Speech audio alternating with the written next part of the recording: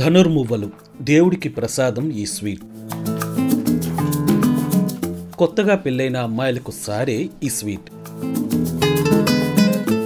సంక్రాంతి పండుగకు తప్పనిసరి ఈ స్వీట్. చలికాలంలో మాత్రమే దొరుకుతుంది ఈ స్వీట్.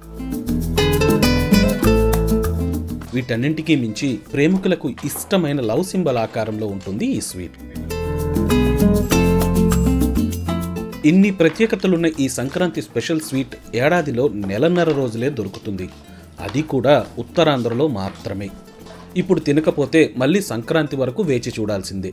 ఇక్కడి ప్రజలు ఈ స్వీట్ను ధనుర్మాస చక్కీలు అని పిలుస్తుంటారు. ఇన్ని ప్రత్యేకతలున్న ధనుర్మువ్వలు ఎలా తయారు చేస్తారు? ఈ స్వీట్ను వేసవి కాలంలో ఎందుకు తయారు చేయరు?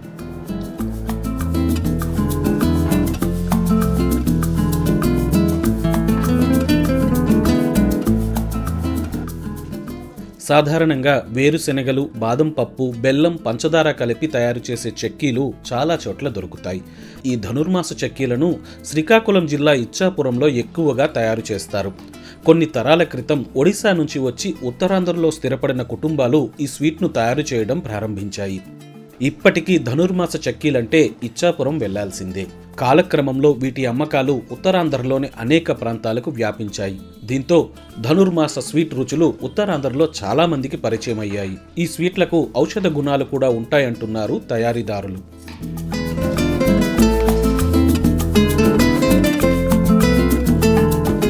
ప్రతి ఏటా నవంబర్ ఎండింగ్ నుంచి జనవరి ఎండింగ్ వరకు తయారు చేస్తామండి. దీని విశిష్టత ఏమంటే ఇది ధనుర్మాసంలోనే తయారవుతుందండి. ఈ ధనుర్మాసంలో చేసిన ఈ చెక్కీలు పూరిలో జగన్నాథ స్వామి గారికి ఈ ప్రసాదంగా కూడా పెడతామండి. పెడతారు. ఇక్కడ కాదు వాళ్ళు కూడా పెడతారు.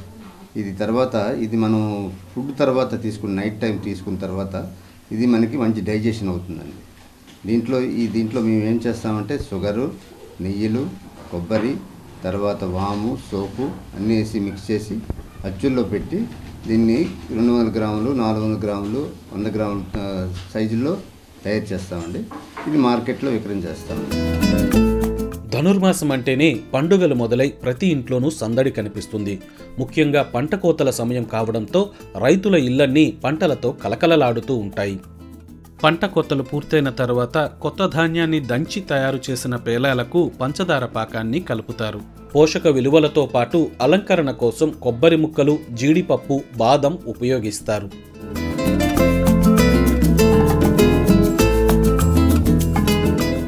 ఫంక్షన్లకి ఇప్పుడు పండగలు అంటే పిలుపులు చేయడానికి ఇస్తారు. పిలుపులకి దీనికి పట్టుకెళ్తారు. ఈ రెండు నెలలు. మెయిన్ అన్ని దేవుళ్ళకి మెయిన్ ప్రసాదం అవుద్ది ఫస్ట్. ఇది అయ్యాక అందరూ పండగలకి అందరూ పిలుపులకి దీనికి వెళ్తే పట్టుకెళ్తారు.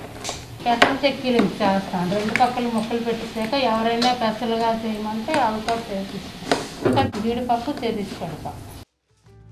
సంక్రాంతి సమయం వచ్చిందంటే ఈ ధనుర్మాస చక్కీలు చేయటం వచ్చిన మహిళలంతా వివిధ దుకాణాల దగ్గర నుంచి ఆర్డర్లు తీసుకుని వీటిని తయారు చేసి అందంగా ప్యాకింగ్ చేసి అందిస్తారు. ఈ నెలంతా మహిళలు వీటి తయారీతోనే ఉపాధి పొందుతారు. ఆర్డర్లపై స్పెషల్ డిజైన్లలో కూడా తయారు చేస్తారు. ధనుర్మాస చక్కీలను ఇంటికొచ్చిన ఆడపడుచులకు పెళ్ళైన అమ్మాయిలకు సారెగా స్నేహితులు బంధువులు ఒకరికొకరు ఆహ్వానాలు అందించేందుకు ఇస్తారని దేవుడి కోసం కూడా దీన్ని తయారు చేస్తామని మహిళలు తెలిపారు. పంచదార పేలాల్లా అంతా కలిసి ఉండాలని కోరుకుంటూ ఒకరికి ఒకరు ఈ స్వీట్ ఇచ్చిపుచ్చుకుంటారని తెలిపారు. దాని నుంచి వచ్చినవే ఇవి పేలాలు. వాము సోపు మిక్సీ చేసి పాకంలో వేసి కలిపిన తర్వాత అది వేడివేడిగే కాటా వేసి గబగబా నొక్కేస్తుండాలండి. లేదంటే గట్టి అయిపోద్ది పాకం మరి అది ఆరిపోతే మరి పనికిరాదు అది. అది ఆరకంట గబగబా నొక్కేసి వెంటనే వెంటనే ఇచ్చేసేయాలండి. చల్ల ఉండాలండి దీనికి. ఈ కార్తీక మాసంలో నెలగంట పెడతారా? ఆ నెలగంట పెట్టినప్పుడు ఈ కొత్త దా ధాన్యం ఈ పేలాలతోటి దేవుడికి అరసవెల్లి ఇవంతా నైవేద్యం కూడా పెడతారు ఇది. నైవేద్యం పెట్టి చాలా నెలగంట పెట్టిన వెంటనే అన్ని గుళ్ళకి కూడా ఇస్తాం. నెల పదిహేను రోజులు చేసి ఈ నెల పదిహేను రోజులు అయితే మరి ఈ సీజన్ అయిపోద్దండి. మరేమి ఉండదు.